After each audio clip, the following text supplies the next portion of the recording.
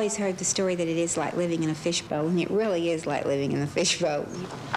Do you know, have you talked with Lael about everyone coming at 10? Everyone has been notified. There are people in and out all the time. There's something happening all the time. The tours are going on, you know, daily. Uh, but I think I expected all of that. It's mid-morning, and already Linda Gale White is well into another long day as the First Lady of Texas. And they'll be here at 10 o'clock on Thursday. Thursday. Right. Will we just meet in the conservatory? Yes. Uh, When did you say? All these people work really hard on the campaign, and uh, how do you like our new house? This young lady wants to autograph. Okay. Okay, what is your name? Laurie Lockridge. To Laurie, oh, L-A-U-R-I-E.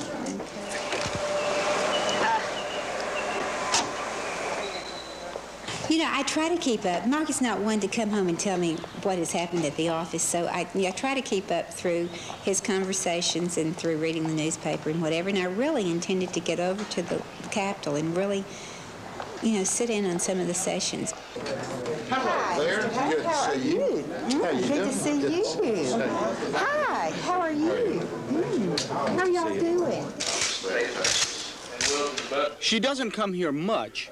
Linda Gale, as she prefers to be called, usually only comes to the Capitol for proclamations and swearing-in ceremonies. And let me assure you another thing, because we are just Just being there, smiling and cordial, wins her political points.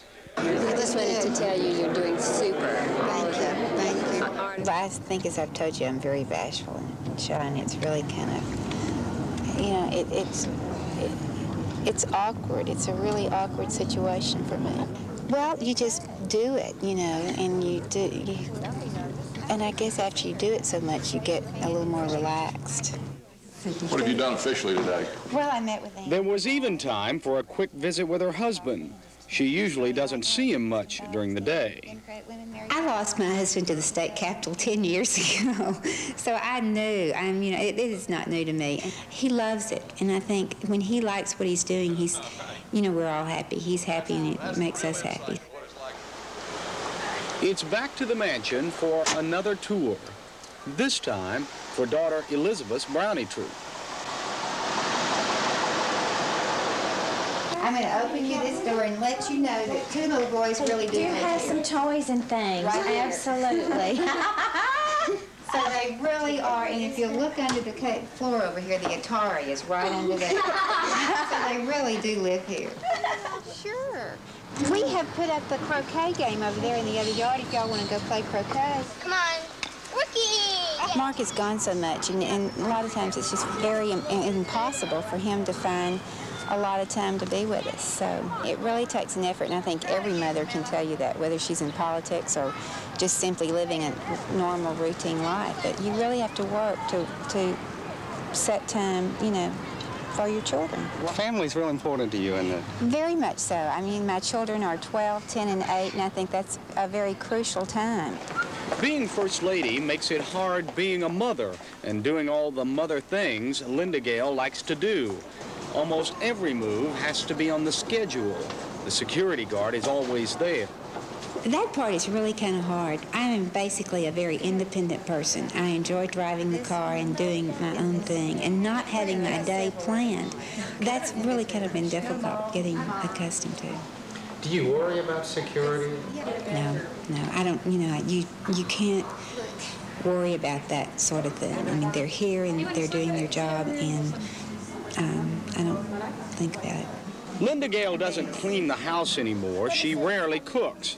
But being a good wife and mother is her top priority. Anyone expecting an activist type First Lady won't find that in Linda Gale. My bag is not to get in and be a political advisor for Mark because obviously that's not my expertise. Uh, I'm a teacher, I'm a mother, and so I try to direct what, you know, myself along those lines. I know that best. I asked her to be our speaker this evening because I think she exemplifies a woman who has successfully combined the roles of wife, mother, and businesswoman. I'm proud to introduce the First Lady of Texas, Linda Gale White. This appearance at a UT sorority dinner is her last for this day. She's not real comfortable in the formal role of speechmaker, and she's also very tired by now. It's 9.30 when she finally arrives home, but in a way, all this is really just starting. There are nearly four more years of this long, tiring pace. And when it's over, Mainly, I want them to think of Linda Gale White, of, you know, someone who was in there trying her best and doing her best, and that's basically all I want to do. I'll be pleased if at the end of Mark's session, you know, we can come out saying that uh, Mark was an excellent governor and I was in there helping him all the way. Jack Kendrick, Channel 8 News, Austin.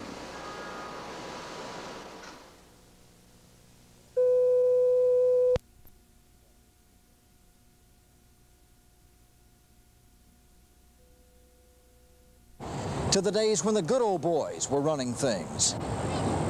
Mike Capps, Channel 8 News, Houston.